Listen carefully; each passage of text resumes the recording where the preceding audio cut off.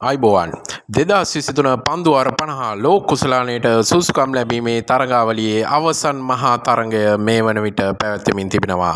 ඒ ශ්‍රී ලංකාව හා නෙදල්ලන්තය අතරයි. කාසියවාසිය දිනෝ නෙදල්ලන්ත නායකයා ප්‍රථමෙන්ම පන්දු යැවීමට තීරණය කරා.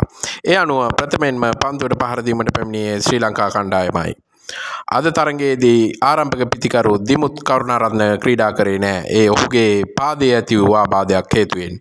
දිමුත් වෙනුවට අද සහන් ආරච්චිගේ කණ්ඩායමට කැඳවා තිබුණා.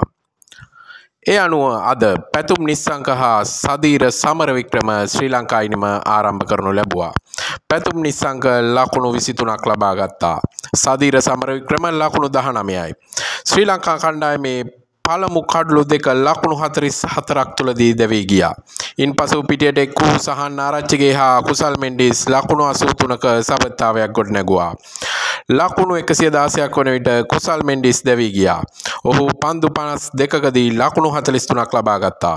ඔහුගේ ඉනිමට හතරේ පහර පහක්සා එක් හයේ පහරක් ඇතුළත් වුණා.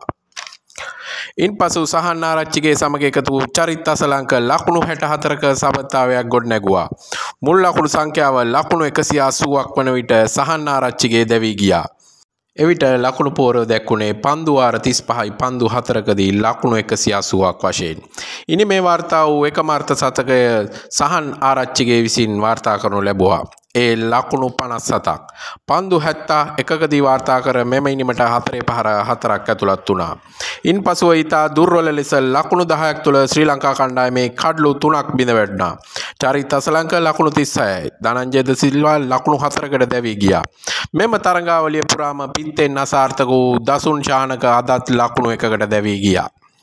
ශ්‍රී ලංකා ඉනිමේ අවසන් පෙල්ට යම් කිසි උත්තේජනයක් එක්කල වනිදු හසරංග ලකුණු විසි නමයක් ලබා ගත්තා.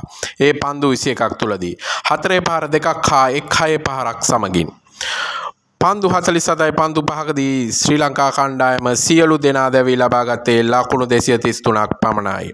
පන්දුයමේදී නෙදල්ලන්තේ විඩුවෙන් වෑන් බීක් කෙලින් වික්‍රම්ජිත් හා සකීප් කඩ්ලු දෙක බැගින් ලබාගත්තා.